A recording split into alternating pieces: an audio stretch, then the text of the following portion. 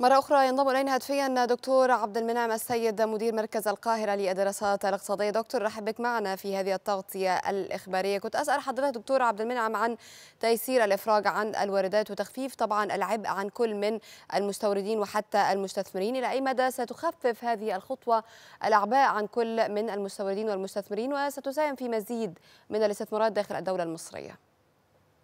اولا أهلا بحضرتك. أهلا بك آه، آه، حزمة الاجراءات الاستثنائية اللي تم الإعلان عنها آه، طبعا خطوة جيدة جدا لتيسير على اجراءات الإفراج على الواردات. هدفها الأساسي إن يكون هناك تخفيف للأعباء على المستثمرين.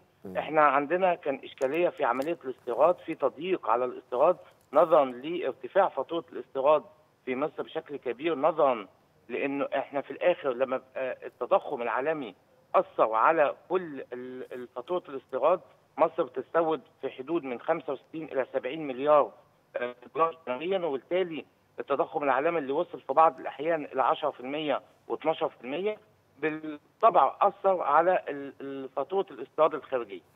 فالإجراءات الاستيرادية كانت فيها عملية تضييق عشان نحجم ونقلل ونخفض عملية الاستيراد الخارجي. طبعا آه، النهارده الحمد لله بسبب وجود وفره في الحصيلة الدولارية بدأت الدولة تتحرك بشكل آه، كبير نحو إن هو آه، تقوم بعملية تخفيف الأعباء على المستوردين آه، تشيل إجراءات تيس- وتيسيرها الخاصة بعمليه الاستيراد والإفراج الجمركي لبعض ال- البضائع الموجودة داخل الموانئ المصرية. صحيح. حاجتين. أول حاجة هيساعد فيها إنه المعدلات الأسعار أو التضخم ممكن تقل بشكل آه، يعني جيد أو بنسبة جيدة نظرا لأنه هيبقى وفرة في السلع ال- والمنتجات داخل السوق المصري أيضا بيدي رسالة ثقة وطمأنة للمستوردين والمستثمرين بشكل عام. طبعا. طيب دكتور يعني عبد المنعم خليني أسألك عن هذه النقطة ويعني لو تضعني في مزيد من التفاصيل. السماح للتوكيلات الملاحية بنقل البضائع المستوردة من الموانئ إلى الموانئ الجافة وحتى المستودعات خارج المنافذ الحكومية. مزيد من التفاصيل عن هذه النقطة. تمام ال- الخطوة دي الهدف منها إن أنا برضه أيسر على المستثمر. طبعا. بمعنى إنه يحق للمستورد اللي هو آه، جام يعني قام بإحضار بضائع من الخارج.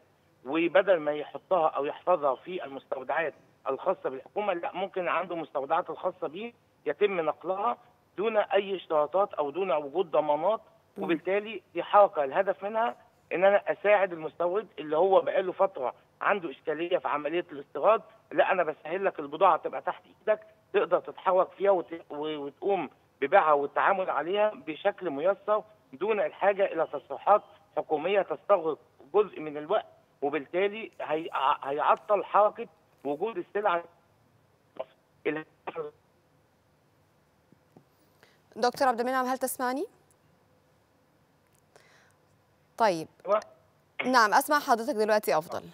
فالهدف من كل الإجراءات يا فندم إن أنا أخلي حركة ال- البيع والشراء المصري جيده ما يبقاش عندي مشكلة فيها ان أنا السلع اللي كانت محتجزة في الموانئ المصرية المتكدسة بشكل كبير بسبب آه، مثلا نموذج أربعة لم يتم الاستيفاء الخاص به عدم وجود تحويل الأموال للمصدر الخارجي من الخارج كل الإجراءات دي هيتم التغاضي. طيب. للأسف من الواضح أننا فقدنا الاتصال. أنا بشكر حضرتك على هذه المعلومات الوفية. دكتور عبد المنعم السيد مدير مركز القاهرة للدراسات الاقتصادية كنت معنا عبر الهاتف. شكرا جزيلا لحضرتك.